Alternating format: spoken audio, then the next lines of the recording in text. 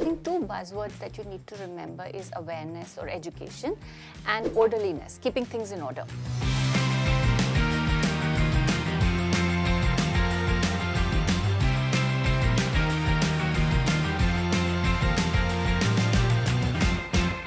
Managing a business is a very complicated task. It has several moving parts and this entire journey gets very difficult if you're managing a small business. The entrepreneur has to deal with several challenges associated with accounting, finance, marketing and whatnot.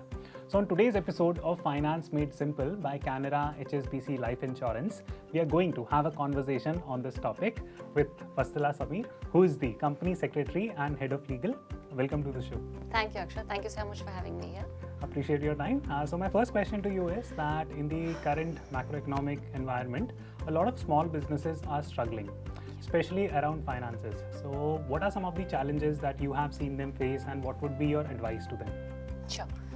Uh, so firstly, Akshat, I feel that starting your own business itself is very difficult and somehow these two years of Corona has given people opportunities and um, a lot of ideas to do that. So it takes a lot of courage and a lot of self-motivation to, you know, just keep going and be there. And a big thumbs up to all those people who've been there and done that because I think it, it, it it's a lot. And uh, so while these entrepreneurs are very passionate about their craft and about the trade that they do, uh, somewhere I feel that they uh, also need to learn about financial management.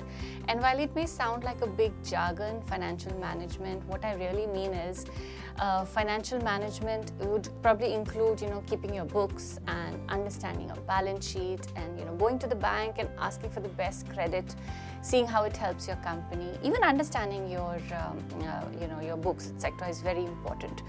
So all of this includes financial management and while it may, it's definitely not an easy cakewalk, but it's as important as a cake on a birthday table. So I think it's really important that people need to learn what financial management is all about. Just speaking from my experience also, so I decided to make a shift from my corporate career to starting my own set of small businesses. Okay.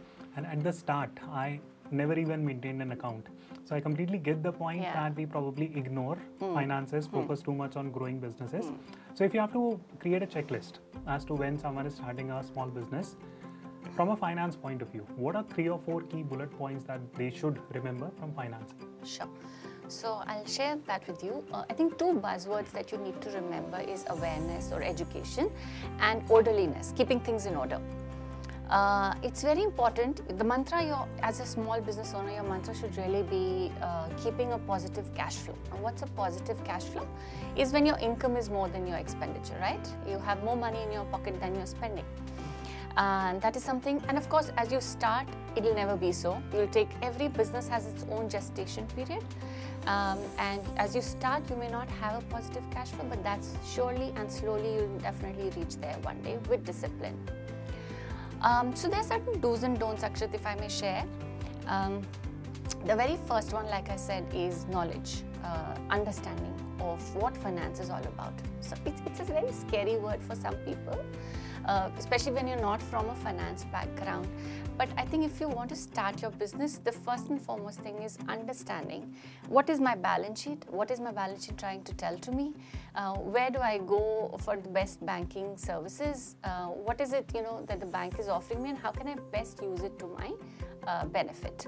Uh, and you know, with this virtual world, there are so many online courses available which can help you understand the very basics of finance. Second one is to maintain your statements. Not easy again because you've never done it in the past, but it's important that you maintain your, uh, in, you know, your incoming and your outgoing of expenses so that you can keep an eye as to what is happening with your money again, uh, uh, you know, with the advancement and so many small businesses coming up, you can either take a help from a professional who would do it for you.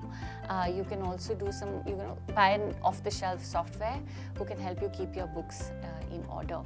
Then a very important tip, and I, that's a don't, is never mix your personal expenses and your professional expense and your business expenses. Keep them apart.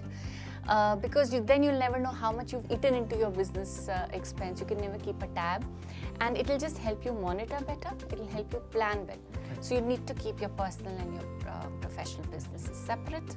The fourth I would say is about a bit of financial planning, very important again, you know. Do a quarterly planning if not monthly. Uh, see how much you have today, see how much you want in the next month, for, you know, next quarter. For all you know, you may not need it that much, so you probably you can, you know, invest in that next thing, next big thing that you want for your business. And that is what will help you understand between the must-haves and the needs, right?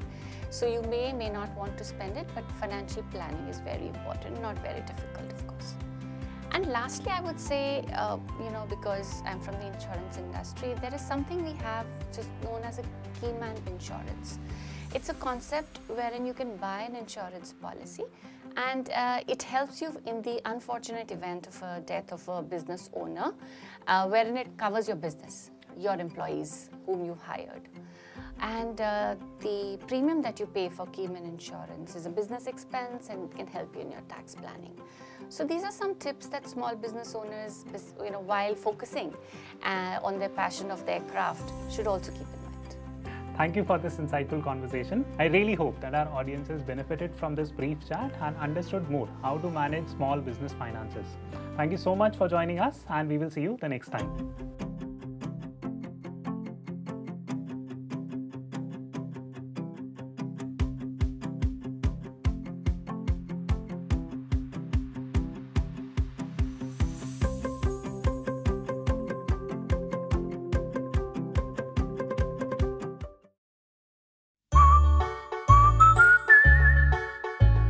Canara HSBC Life Insurance. Promises ka partner.